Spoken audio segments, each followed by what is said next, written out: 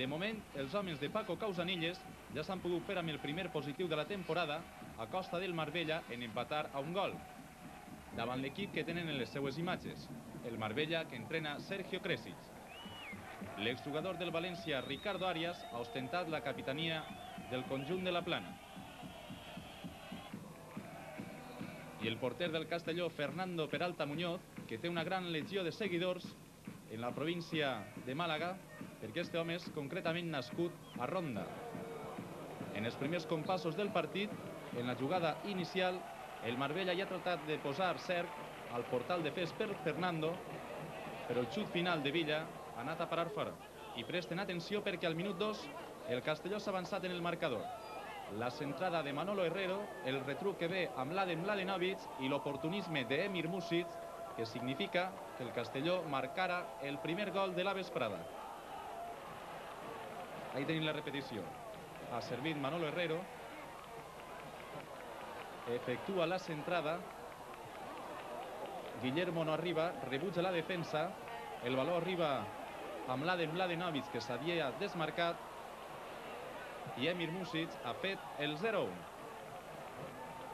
Ara porta la rèplica el conjunt local. La jugada serà embolicada. Intervenen molts dels atacants del conjunt local, però el valor finalment no ha tingut conseqüències per al mar de Fes per Fernando.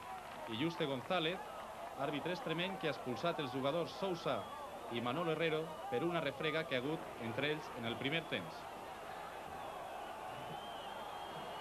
S'han quedat els dos equips amb 10 homes sobre el terreny de joc quan assistim a una treta de córner que remata Olias alt.